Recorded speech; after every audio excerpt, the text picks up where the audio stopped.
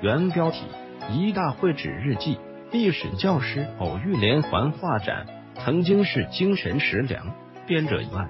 二零一七年十月三十一日，党的十九大闭幕仅一周，习近平总书记带领中共中央政治局常委集体瞻仰上海中共一大会址和浙江嘉兴南湖红船，在广大党员干部群众中引起热烈反响。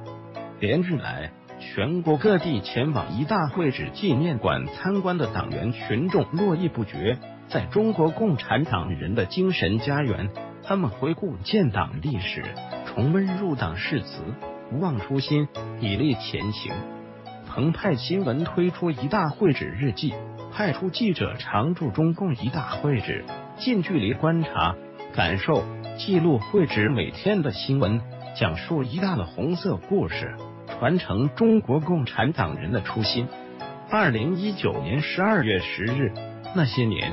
那些人，那些书，连环画中的红色经典，在一大会址纪念馆开展。本文图片均为澎湃新闻记者邹娟图。十二月十日，晴，星期二。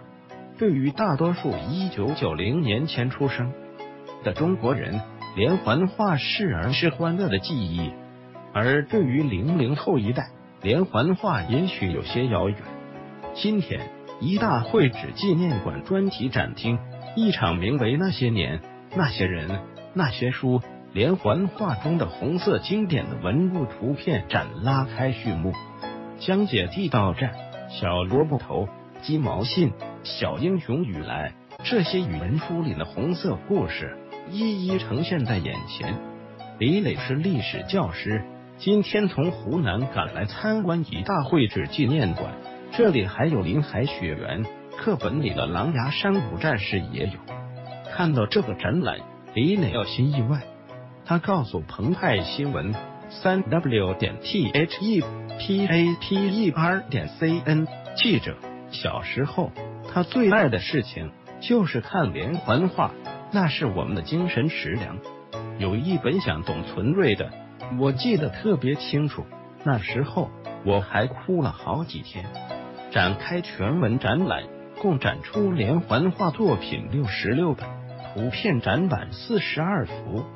连环画俗称娃娃书、小人书，承载着几代人的童年记忆。中国的连环画最早兴起于二十世纪初叶的上海，由上海世界书局出版的《三国志》《水浒》《岳飞传》等韩装套书。是中国最早的连环画册。一九五零年成立了大众图画出版社，期间《红颜》《红日》等好作品不断涌现，深受读者喜爱。文革结束后，连环画创作手法和出版都达到了前所未有的辉煌。一九九零年代，连环画受到了前所未有的冲击，中国的传统连环画逐渐淡出大众视野。展览中展出的连环画，中共一大会址纪念馆陈列研究部馆员康觉告诉澎湃新闻记者，此次文物图片展从武汉中共中央机关旧址纪念馆引进，于二零一九年十二月十日至二零二零年二月九日期间对外展出。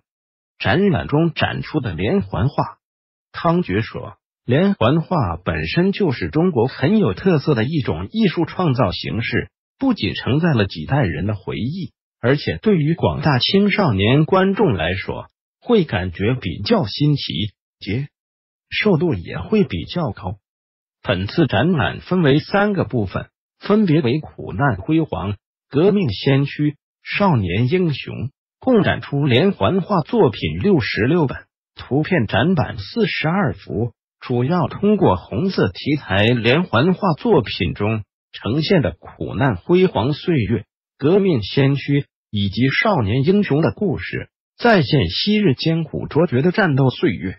展览中展出的连环画，康觉称，此次展出的连环画中，除年代不详的外，最早出版的是一九七二年的《小英雄谢荣策》和《儿童团长》。展出结束语则写着：“中国连环画恰似在一幅幅小图中浓缩了中华文化脉络。举办红色题材连环画展览，不只是情感的怀旧，更是为了寻找中华民族传统文化中的永久魅力和时代风采，梳理文化自信。返回搜狐，查看更多责任编辑。